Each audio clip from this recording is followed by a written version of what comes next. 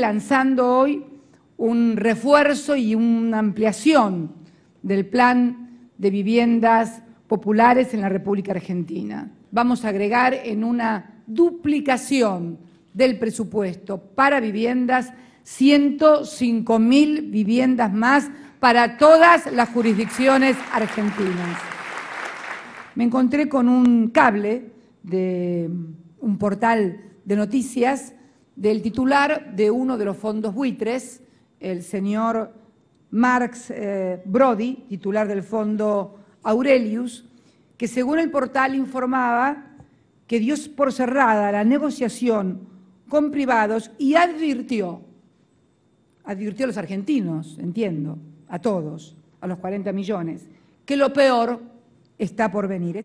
Algunos titulares que hablaban de la impericia del gobierno, tal vez alguno que dijo, han confiado esto a una señora y a un joven, fue así la frase, ¿no?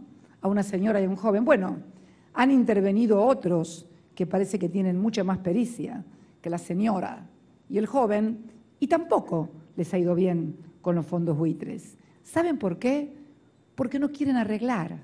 Este es el gran tema de los fondos buitres. ¿Solamente por avaricia y codicia? No, no solamente por avaricia y codicia, sino también por una decisión política y geopolítica de querer volver a endeudar a la Argentina y tirar abajo de cualquier modo la reestructuración de deuda soberana. En estos días nos despertamos también con un titular muy importante acerca de una imprenta, Donnellys, eh, que había presentado quiebra y había cerrado, y que entonces quedaban en la calle 400 trabajadores, queriendo crear un clima de temor entre, obviamente, los trabajadores, de pérdida de trabajo, de que se cerraba el empleo.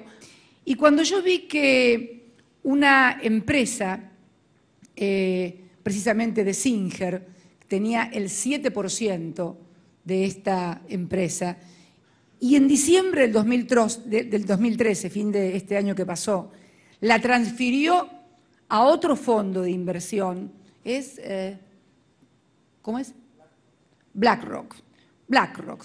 O sea, Sing es NML de Paul Singer, le transfiere a BlackRock, que es otro fondo de inversión, y bueno, nos encontramos que Donnellys, que es una multinacional muy importante y que, tenía, que tiene una imprenta muy importante en Garín, también el 60-70% está integrado por fondos de inversión. Y uno de los fondos de inversión es precisamente eh, eh, BlackRock, exactamente la que Singer le había transferido en otra multinacional su participación. Cuando comenzamos a indagar, la situación patrimonial de la empresa era buena.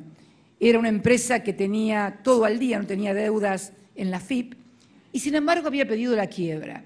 El primer caso que vamos a tener de aplicación de ley antiterrorista es esto, porque es el artículo 309 del Código Penal, incorporado por el artículo quinto de la ley 26.733, publicada en el Boletín Oficial el 28-12 del 2011 y la ley 26.734.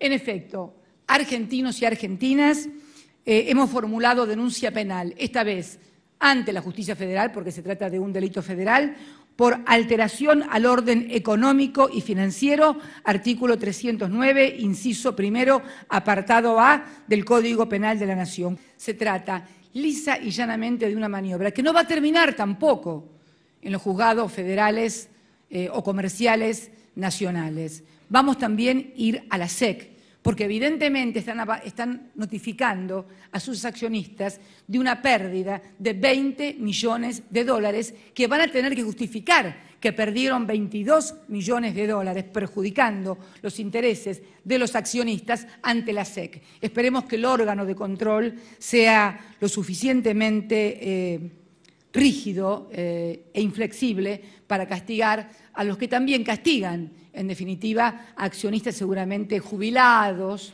norteamericanos, que creyeron en Donelis y, o en los fondos de inversión que tienen en Donelis, bueno, no tienen ningún problema en tirar veintipico de millones de dólares a la calle con tal de crear una situación de zozobra en un país al que quieren ver de rodillas. Pues conmigo de presidenta de rodillas no nos van a ver, no nos van a ver, no nos van a ver.